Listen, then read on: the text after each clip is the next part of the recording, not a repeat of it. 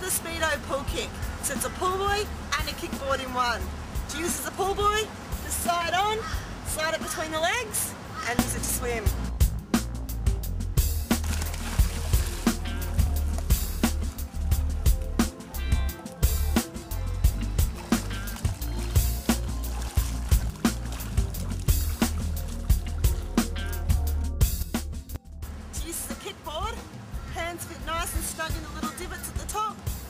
plodding out straight and kicking along.